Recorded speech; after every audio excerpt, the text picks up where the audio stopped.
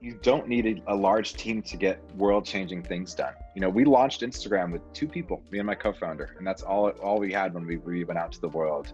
Um, uh, two years in, we had uh, 30 million people using Instagram, and our whole engineering team was four people.